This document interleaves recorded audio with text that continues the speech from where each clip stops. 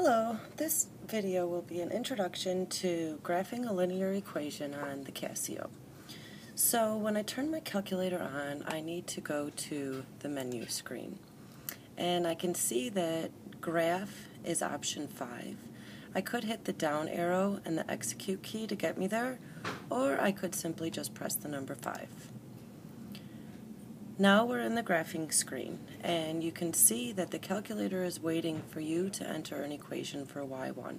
So I would like to type in this equation here. So I begin with 2.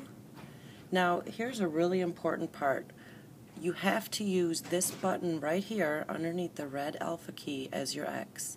The calculator will not accept this or this as the x variable.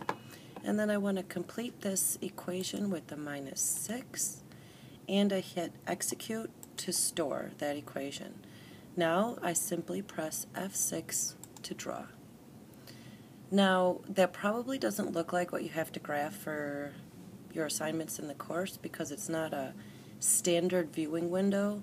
It only goes about negative 6 to 6 on the x-axis about negative 3 to 3 on the y-axis. So to make this into a standard viewing window, with both axes ranging from negative 10 to 10, I'm going to hit F3 for the viewing window. And then I'm going to select F3 again for the standard option and hit execute for the calculator to store that. And then I'll hit F6 again to draw.